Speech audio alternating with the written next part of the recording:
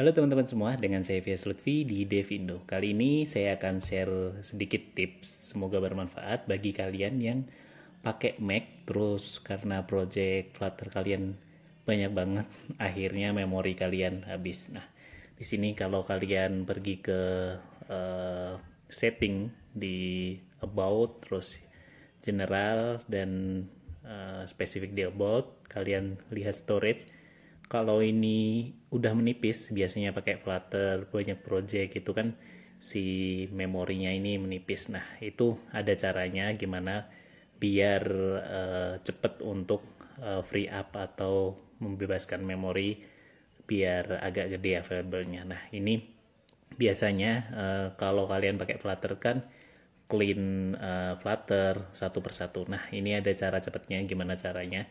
Sebelum itu kalau kalian suka ngerekam video uh, layar video dan ya kayak gini kalian wajib banget download untuk uh, Screen Studio. Coba aja explore dan ini harganya terjangkau banget. Oke lanjut. Balik lagi. Gimana caranya? Nah ini langsung aja saya bikin file baru.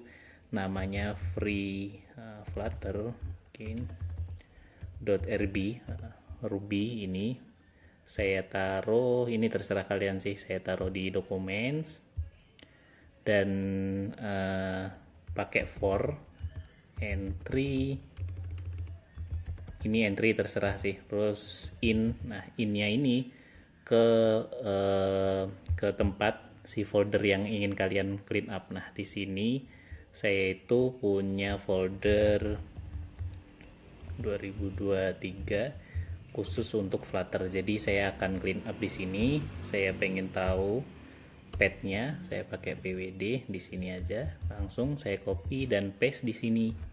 Lalu strip dan bintang ini untuk ngecek semua folder yang ada di 2023. Nah, setelah itu di sini saya bikin perintah do sorry do uh, entry to in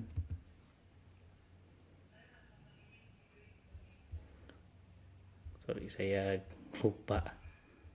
Hmm, saya udah pernah bikin. Dia ada di sini 2022 nah ini sebenarnya do cd entry. Nah ini untuk masuk. Nah, saya copy aja biar cepet. Nah, tapi ini yang 2023 nah ini do cd entry jadi masuk satu persatu di setiap entry yang udah di define di sini. Terus saya pengen uh, tahu statusnya gimana lalu ngelakuin flutter clean terus dan dan echo nah ini nanti uh, bisa kalian lihat di deskripsi untuk perintahnya ini atau kalian pergi ke GitHub saya. Nah cara jalannya gimana?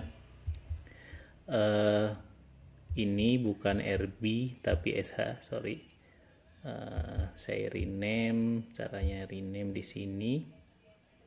Hmm, gimana ya? Ini uh, di 2023 bukan di sini tapi di dokumen. Ini SH bukan RB SH oke. Okay. nah ini bakalan kayak gitu tapi kita reopen di sini. Oke open restrict mode. Hmm, nggak usah restrict mode tapi open full aja. Sini open. Oke. Nah ini kan udah kita udah bikin uh, looping untuk folder ini terus ngelakuin masuk satu persatu terus ngeprint untuk clean up ketika udah beres semuanya baru ada tulisan down and dusted. Nah untuk cara jalaninya tinggal buka terminal kalian terus tinggal jalanin aja si uh, flutterfree.sh ini. Flutter hmm, sorry. Hmm, jadi dokumen ah kelamaan. Ini saya drag and drop aja ke sini nah ini kutipnya dihapus. Dan langsung enter aja hmm, permissionnya. History uh, untuk permissionnya caranya tinggal kita pakai yang ini uh, chmod plus x. Jadi yang tadi terus saya tambahin chmod plus x kayak gini chmod plus x ini sederhananya untuk ngelau bacain uh, folder satu persatu. Tinggal enter aja. Hmm.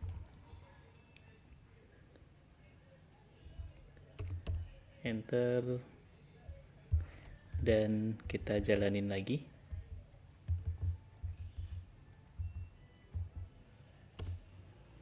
Ya ini lagi jalan cleaning satu persatu semua folder yang ada di 2023 ini. Jadi kalau umpamanya ada 1000 project ya udah clean up semua project. Nah kan kalau kalian satu persatu capek banget dan nanti kita lihat di sini saya ada free-nya 101 kita tunggu mungkin karena lumayan banyak ya project saya di folder ini jadi agak ada waktu